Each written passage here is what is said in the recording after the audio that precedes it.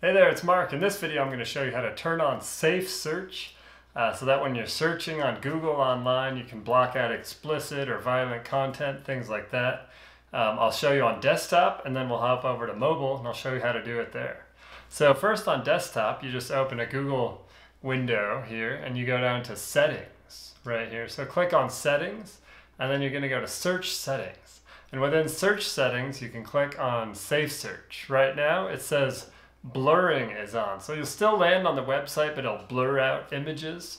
Um, you can turn it off if you want to see everything, or you can filter. And so that'll filter out uh, explicit images, text, and links. Some computers, like if it's issued by a school, for example, may have search defaulted always on to have the filter on. So those are your options on desktop. Now let's hop, let, now let's hop over to mobile. I'll show you how to do it there.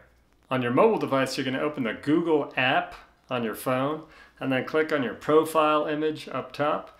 And within there, you're going to click on Safe Search. So it's right there in the list. You've got the same options. You can filter things out, blur it, or turn it off. Um, I like to keep it filtered out, try to keep it clean, but whatever you prefer, that's your choice.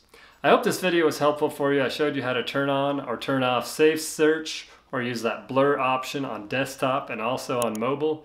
Um, if you like the video, give it a like, subscribe to our channel. We'll see you again soon.